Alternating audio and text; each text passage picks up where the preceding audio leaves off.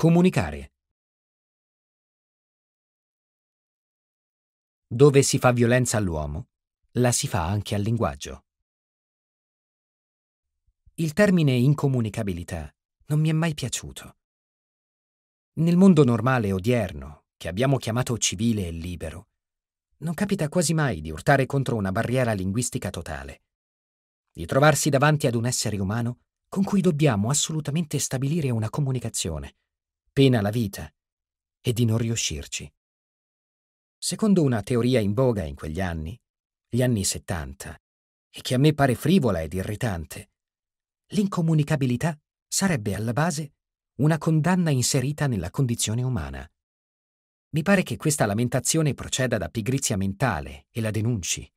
Certamente la incoraggia, in un pericoloso circolo vizioso.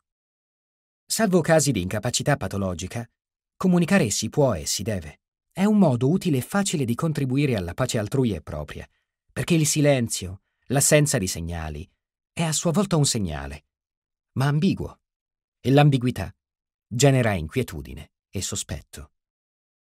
Rifiutare di comunicare è colpa. Per la comunicazione siamo biologicamente e socialmente predisposti. Tutte le razze umane parlano, nessuna specie non umana sa parlare. È ovvia l'osservazione che, laddove si fa violenza all'uomo, la si fa anche al linguaggio.